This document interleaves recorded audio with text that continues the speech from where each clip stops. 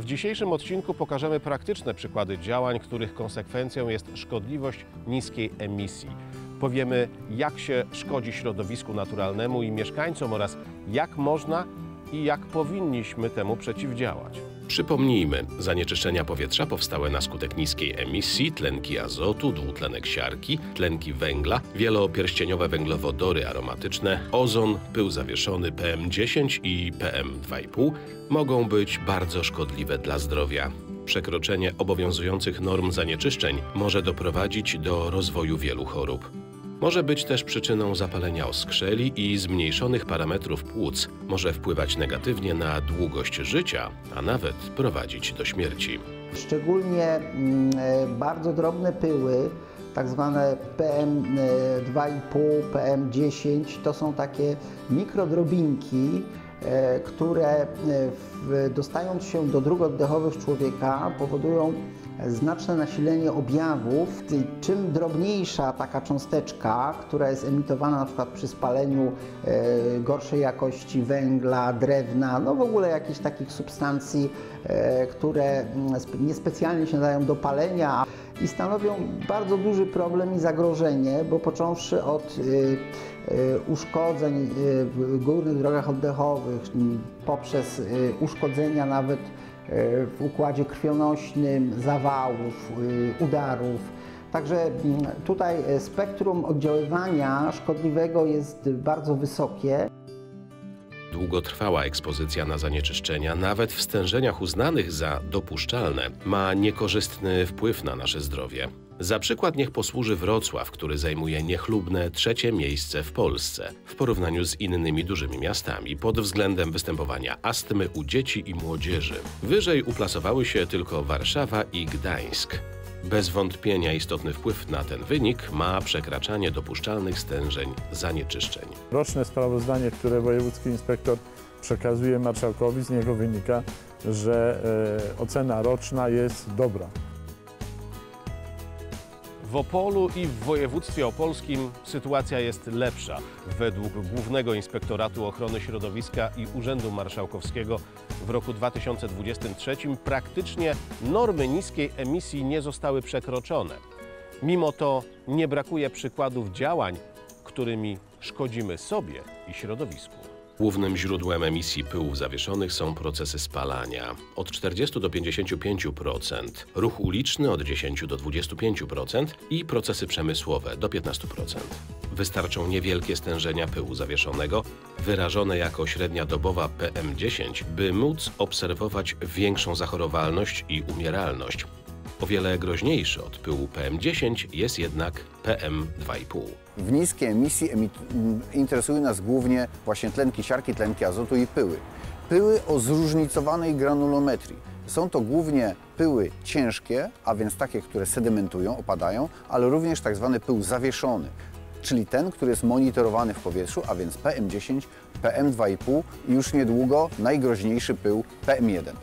W związku z tym, że ta emisja w sektorze komunalnym jest szczególnie istotna w okresie zimowym, incydenty smogowe, a więc y, bardzo wysokie pogorszenie jakości powietrza występuje głównie w tym okresie. Środowisku i mieszkańcom szkodzi przede wszystkim to, co wkładamy do pieca i, co ważne, Przypominamy, że w obiektach lub ich częściach, w których odbywa się proces spalania paliwa stałego, ciekłego lub gazowego, istnieje prawny obowiązek nałożony na właścicieli lub zarządców obiektów związany z profilaktycznym usuwaniem zanieczyszczeń z przewodów dymowych i spalinowych.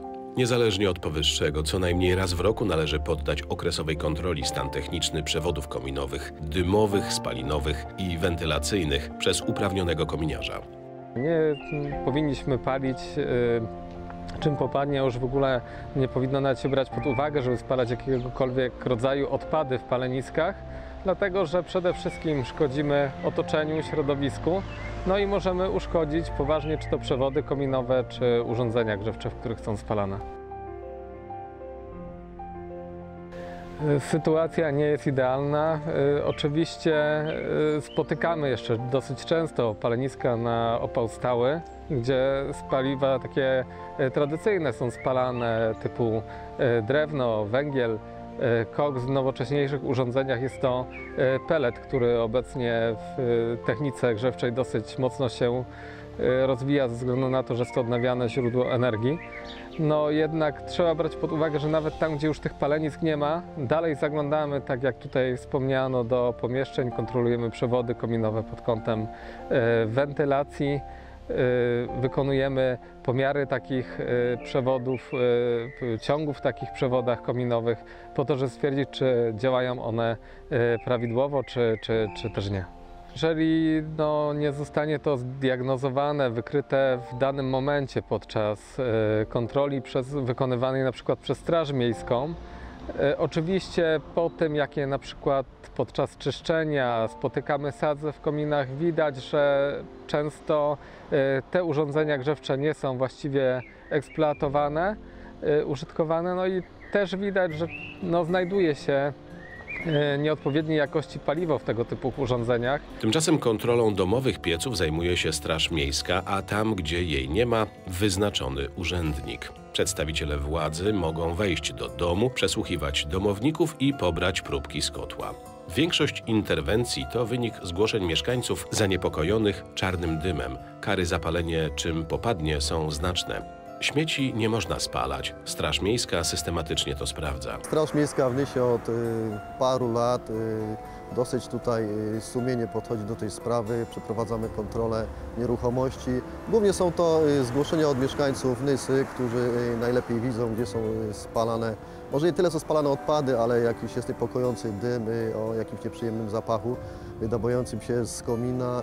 Wtedy przyjeżdżamy, wchodzimy na taką posesję. Y, Pobieramy próbkę i taką próbkę przekazujemy do laboratorium i wtedy z próbki jak wychodzi, że były spalane odpady, wtedy nakładamy mandaty na taką osobę. Były takie przypadki, że trzeba było interweniować karnie.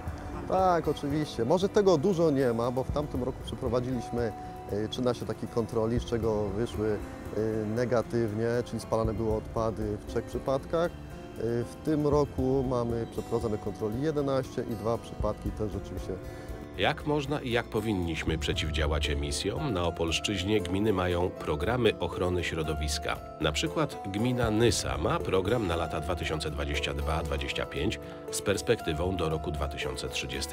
Według założeń program doprowadzi do poprawy stanu środowiska naturalnego, efektywnego zarządzania środowiskiem, zapewni skuteczne mechanizmy chroniące środowisko przed degradacją, a także stworzy warunki dla wdrożenia wymagań obowiązującego w tym zakresie prawa. Prowadzimy szereg działań w ramach ograniczania niskiej emisji skierowanych do osób indywidualnych, bo nie jest tajemnicą, że źródłem zapylenia czy zanieczyszczenia powietrza, szczególnie w okresie zimowym, są po prostu piece osób, osób prywatnych. Dlatego też realizujemy dwa programy, program Czyste Powietrze i program Ciepłe Mieszkanie skierowany do zabudowy wielorodzinnej, służące wymianie źródeł ciepła, tych nieefektywnych, tych emitujących do powietrza bardzo dużo. I w to miejsce zależy nam na tym, żeby pojawiły się efektywne źródła energii. Dziś e, nie widzimy tego zanieczyszczenia powietrza, bo mamy piękną pogodę, błękitne niebo, e, a tak naprawdę z niską emisją walczymy w okresach jesienno-zimowych. Natomiast cały rok powinniśmy przeciwdziałać, stąd e, wszystkie te eventy i edukacja, które idzie w tym kierunku z wykorzystaniem odnawialnych źródeł energii. O tym powiemy w kolejnych odcinkach programu Czyste powietrze przeciwdziałanie emisjom. Przedstawimy działania samorządów, które także dzięki współpracy z Wojewódzkim Funduszem Ochrony Środowiska i Gospodarki Wodnej w Opolu mają największe efekty. Zapraszamy.